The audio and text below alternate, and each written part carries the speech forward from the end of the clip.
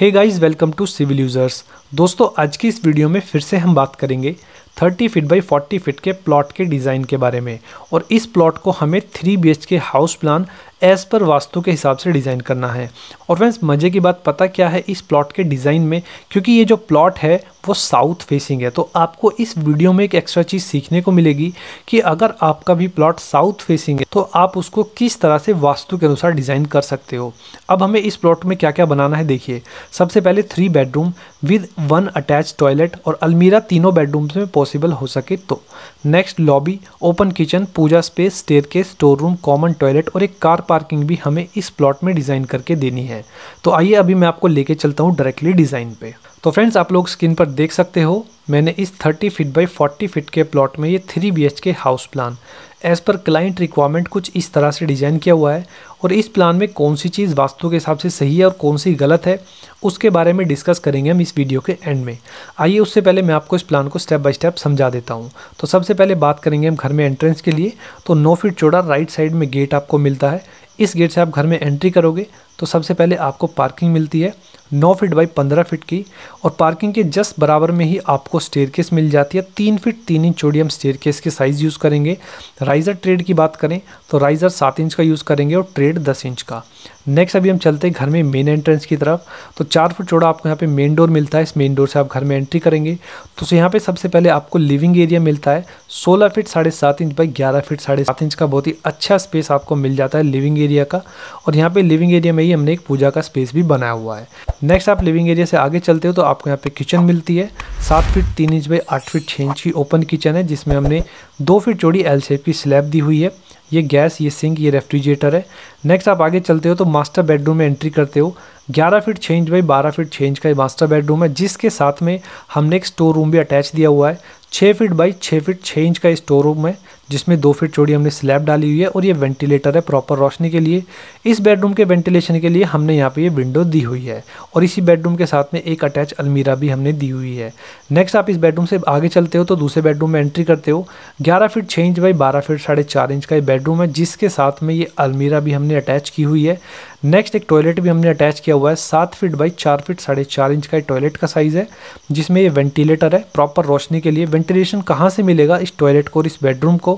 यहाँ पे आप ओटीएस देख सकते हो। इस ओटीएस से इस टॉयलेट को, इस बेडरूम को, इस टॉयलेट को और इस बेडरूम को चारों को वेंटिलेशन मिलेगा।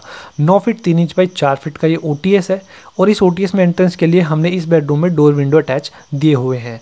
नेक्स्ट आप इस बेडरूम से बाहर आते हो तो कॉमन टॉयलेट आपको मिलता है।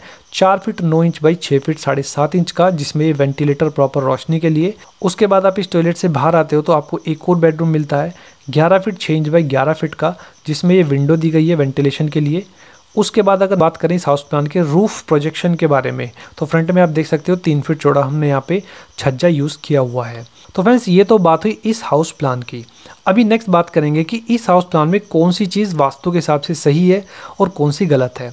अगर सबसे पहले हम बात करें एंट्रेंस की तो बेसिकली हमारे पास सिर्फ़ दो ही एंट्रेंस है। या तो हम यहाँ पे साउथ वेस्ट में एंट्री कर सकते हैं या फिर साउथ ईस्ट में, यानी कि या तो हम इस साइड में एंट्रेंस करेंगे या फिर इस साइड में। लेकिन वास्तु के हिसाब से ये वाली साइड जो है वो गलत होती है। तो इस साइड में कभी भी आपको एंट्रेंस नहीं देनी है as per vastu south facing मकान के लिए। तो साउथ ईस्ट कॉर्नर से आप एंट्रेंस कर सकते हो, ये वास्तु के हिसाब से बिल्कुल सही है। उसके बाद यहाँ पे आपको पार्किंग मिलती है साउथ ईस्ट कॉर्नर में, जो कि वास्तु के अनुसार बिल्कुल ही गलत है। साउथ ईस्ट कॉर्नर में आपको कभी भी पार्किंग नहीं बनानी चाहिए। क्लियर है? उसके बाद नेक्स्ट बात करेंगे स्टेयर केस के बारे में। तो सबसे पहले स्टेयर केस आपकी सही इसलिए हो जाती है क्योंकि ये क्लॉकवाइज डायरेक्शन में है। उसके बाद दूसरी अच्छी बात ये है स्टेयर केस के लिए कि स्टेयर केस आपकी साउथ की दीवार से टच है, यानी कि यहाँ पे इस साइड में टच है। तो स्टेयर केस आपकी ऑलमोस्ट वास्तु के हिसाब से सही है। नेक्स्ट आपका स्टोर रूम भी वास्तु के हिसाब से सही है साउथ वेस्ट कॉर्नर में, यानी कि यहाँ पर बन रहा है। उसके बाद मास्टर बेडरूम भी आपका वास्तु के हिसाब से सही है। नेक्स्ट अगर बात करें किचन की तो किचन आपकी थोड़ी सी गलत है और थोड़ी सी सही है। अगर बेस्ट पोजिशन की बात करें हम। किचन की तो कहाँ पे यहाँ पे आपकी किचन अगर बनाई जाती तो बेस्ट होती। नेक्स्ट अगर हम बात करें पूजा स्पेस की। तो देखिए बेस्ट पोजीशन तो नहीं है पूजा स्पेस की, वास्तु के हिसाब से पूजा स्पेस सही है। बट अगर बेस्ट पोजीशन की बात की जाए, कहाँ पे ज़्यादा अच्छा रहता पूजा स्पेस तो यहाँ पे अगर कहीं आप बनाते पूजा स्पेस तो बहुत ही ज़्यादा अच्छा रहता एज़ पर वास्तु। उसके हिसाब से ये जो टॉयलेट है, ये आपका आधा वास्तु के हिसाब से सही है और आधा गलत है, क्योंकि ये आधा नॉर्थ ईस्ट के कॉर्नर में जा रहा है, यहाँ पर इस साइड में जा रहा है, ठीक है? ये वाला जो टॉयलेट है, ये आपका वास्तु के हिसाब से बिल्कुल सही है। फ्रेंड्स इस प्लान में एक चीज़ समझने की जो कि बहुत ही ज़्यादा इंपॉर्टेंट है, वो है आप लोगों का ये सेप्टिक टैंक अब ये प्रॉब्लम ये आती है कि सेप्टिक टैंक कहाँ पे बनाया जाए वास्तु के हिसाब से।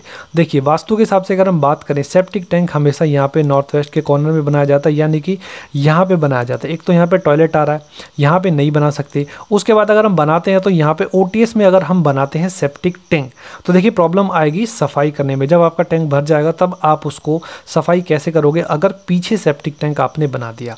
तो अभी हमें फ्रंट में सेप्टिक टैंक बनाना है तो कहाँ पर हम बना सकते हैं? वास्तु के हिसाब से ताकि हमारा वास्तु भी गड़बड़ ना हो। तो देखिए, यहाँ पे आप ये मिड में चार बाई सात का सेप्टिक टैंक बना सकते हो।